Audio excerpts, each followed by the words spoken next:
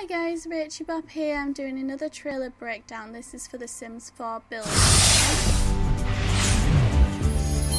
I'm John Burgess, a designer. I'm going to try not to talk while I play it because I know last time you guys had trouble hearing me.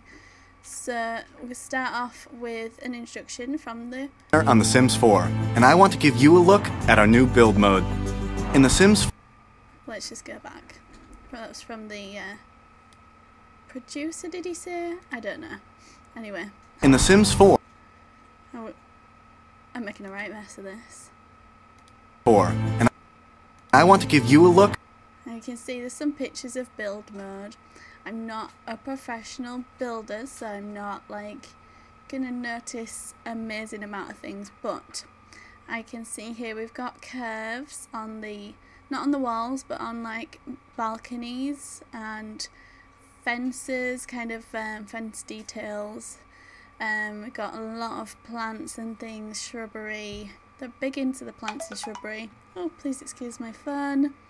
And um, the, this is all like dragged and pulled out. I think you can kind of see that now. Now we know how it's done, and I really like that because I am a, a novice. And again, here with the like the sloped roofs, I know you can change like the angle of the curve as well and you can like um, adjust the foundation height so I think that's why they've given this a really heavy foundation to show that off. At our new build mode. In The Sims 4, you can see on this one we've got a lovely statue here which is new. Some, again, some new trees, cliffs, um, I don't know if you can maybe adjust the terrain. And uh, this is very flat, we've got a really cool path, but they can come off the path so they don't have to be on the path to route. Then you can see how, I don't know all the professional names for these features, I'm not an architect, um, but I can see how these are all different heights and that adds to how dynamic these things look. I mean this building's pretty amazing and look how big that slanting roof is, it's so cool and yet the floor level is there and then there's another floor level here, I think that's really amazing so it's kind of um, limited by what you can create again. I can create homes with more detail and They're saying you can create homes with more detail, which is a given. I think they've really put a lot into build mode and we can get a lot more out of it even if we don't know how to build and a lot of people will be discovering this feature of The Sims um, who just played and played with The Sims that there's this whole other side of it which is building. And I love how this is attached, kind of like a little canopy. More personality than ever. And you can see them dragging and pulling. We all know this by now, but yeah, you can adjust rooms and the walls will keep whatever items are attached to them. Building is fast. It shows you the price and it shows you that you can rotate them and change where they are, pull out each individual wall as far as you like and it will adjust things accordingly. Faster and you can also see down here you can search. So valuable. I just want to search for everything. I can never find anything so that's really good. And easier. Got a nice little fountain here. The colouring of everything is lovely. It reminds me of Monte Vista, very Italian. It's lovely. Um, warm colourings on this with the light uh, I don't know how it will look in game, but I like this and I like these arches and you can see a lot more of the, what they're wearing as well. It's not just about build mode if you look a lot closer. There's a lot more. We've also got these bird kind of um, balconies and that's really cool. The shutters on the windows, these kind of balconies that you, you wouldn't go out on but they're pointless but they look nice. In an earlier video, we created Bella and Mortimer Goth. Now, let's create their home. In the sim- So it's showing you from scratch how to build it. You can see here another that kind of it's kind of misleading showing these curved edges when you can't have the curved walls, but it does look nice, but it kind of just makes you want the curved walls. Then it shows you a plot here. You can see how the like it's very public. It's kind of like they've brought the main part of the town like into the residential area which is kind of more real and it will create you having more sims we've also got bins as well, which is cool. Sims 4, I can create my ideal floor plan. And you can see here all the different floor and room types you could plop in. You can filter items here. You've got your categories here. You can see what you've selected, um, which is highlighted. Tells you your amount. It's a lovely theme. I don't know if it's going to stay with this whitewashed effect, but I do actually like it. And by drawing walls or simply placing down rooms and pushing and pulling them into shape. And it's amazing how the other shapes just adapt. And this is like so valuable for me. I'm really looking forward to trying it out. To make this even faster, I can place fully And you saw there, there was like a catalogue of different things and different colour variations of the set rooms, kind of like blueprints, but so much more like done than a blueprint. It's just ploppable. furnished styled rooms. Furnished, that was the word I was looking for. To suit the Goth's traditional tastes, I'm going to choose rooms from the Queen Anne style.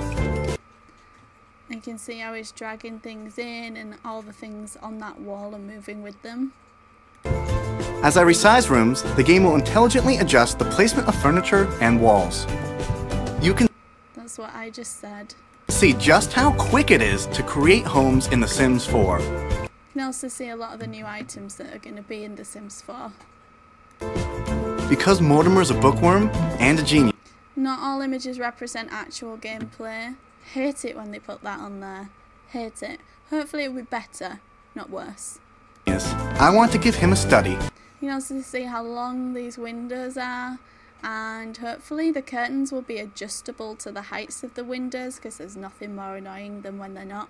to fit his refined tastes. You can also see again some more people, some more outfits, some more props. And for the outgoing Bella, I've built a dining room So nice these curtains and it shows you coming it coming in like kind of a pro- progression. she'd be proud to host a soiree in.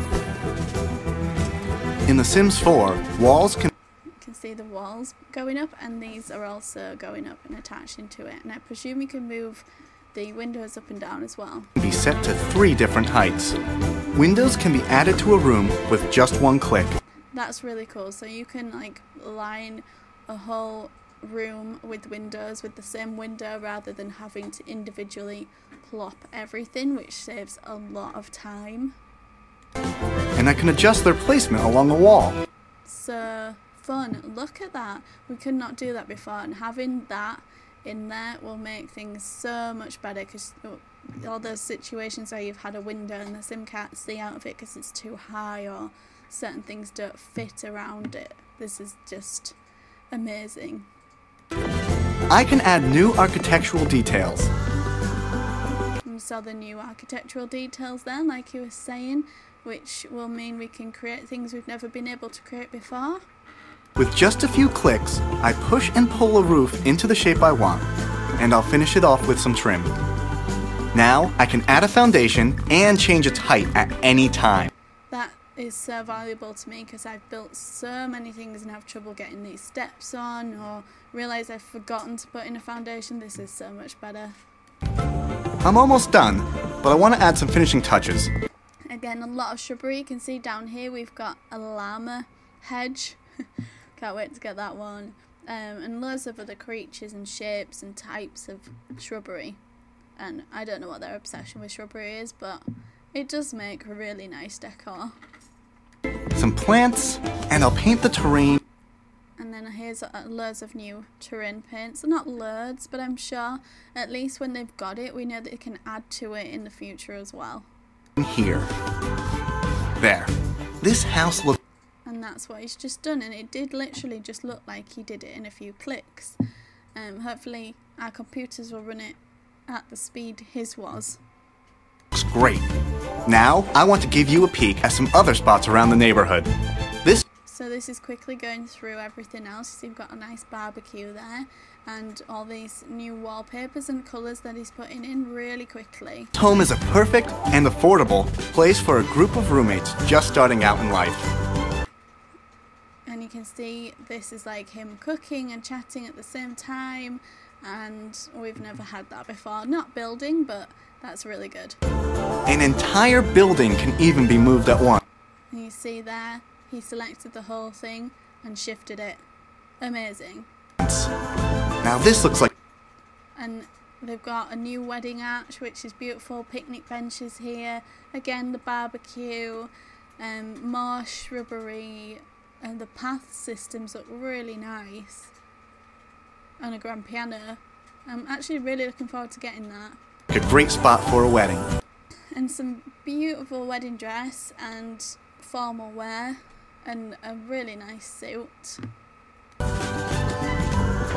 And there's plenty of room in this modern home And this house is so much different from the last one with all this glass and like I can see some really nice machinima being made through a house like this. It's you could make like your ideal house and you wouldn't be restricted I don't think. And with the paths like on different levels to go with the grass that's kind of um, up and down and this wall it's so like just there doesn't seem to be any limits with it. I guess we'll see when it comes out, but from what they're saying, it looks really good. for a multi-generational family. Kick. What's that? Unicorn doll? Music? Cup? New lamp? Giant phone? Actually, iPad. Didn't get that in the base game of Sims 3. Let's check back in on And then this is it in another light, a different house, the, the house we built really quick to start with. Bella and Mortimer. Everyone's Statue, playing the grand piano, green juice. loving their new place. I can't wait to see the houses you'll be creating. Thanks for watching. I saw some tattoos there, and I don't really like seeing this at the end because it it reminds me of like when they make things and they're sort of hammering at nothing and then it just appears. I don't like that. I mean, look at how she's holding the hammer. It's really not a good advert for what they've just shown, which looked amazing. So I don't know why they've put this in here. I don't like it. Oh, she was. Okay, so she was spinning it around at that point, so she wasn't holding it funny.